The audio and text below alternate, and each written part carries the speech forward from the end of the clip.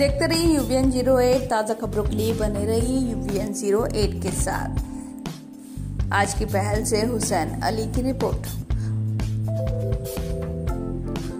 स्वतंत्रता दिवस के उपलक्ष्य में शिया दाऊदी भौरा, जमात ने भौरा मस्जिद में झंडा वंदन जनाब मुर्तजा भाई साहब की अगुवाई में किया, जिसमें सभी समाज जन उपस्थित रहे। देश में अमन चैन कायम रहे, इसकी भी दुआ की गई।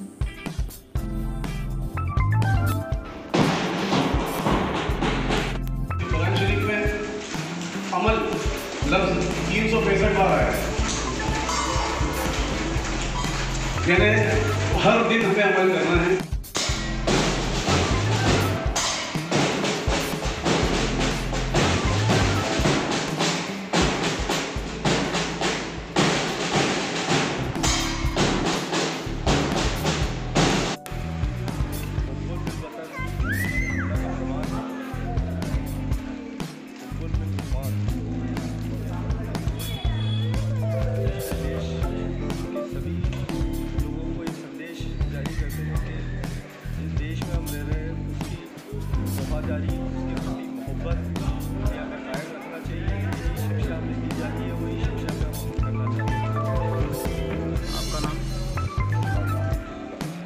कहना चाहेंगे आप देश के लिए आज।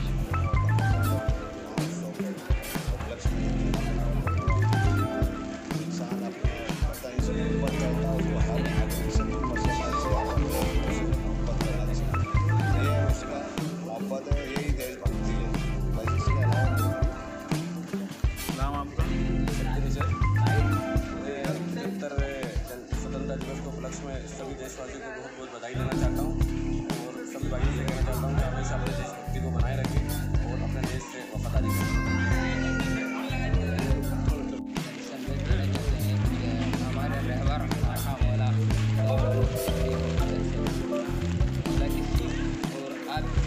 नसीहत उन्होंने हम उम्मीद के दिलों में भर रखी है कुल वतन मिलन ईमान वतन से मोहब्बत ईमान का हिस्सा है इस तरीके से उन्होंने हमारे ईमान को और मज़बूत किया और ये हमें संदेश दिया यह पचहत्तर दिवस जो हम मना रहे हैं इसे अमृतकाल के रूप में हम मना रहे हैं और ये जो अमृत का स्वाद आज हम स्वतंत्र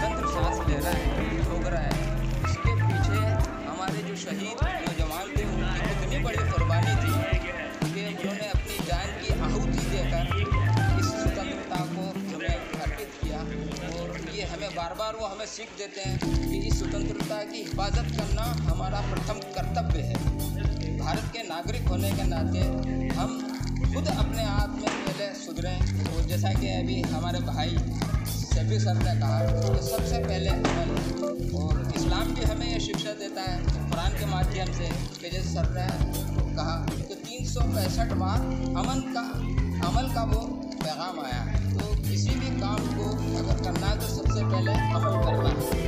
हमारे यहाँ भी बहुत से सबकों में हमें जनाब आमिर साहब ने बताया, और भी हमारे आलिमों ने बताया कि अगर कोई भी अमल हम 40 दिन तक के मुकम्मल करते हैं तो हमारी आदत हो जाएगी।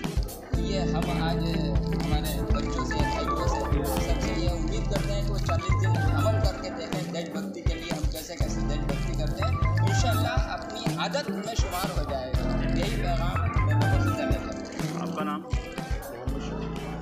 कुछ संदेश देना चाहेंगे आप स्वतंत्रता दिवस के अवसर पर? यही संदेश है।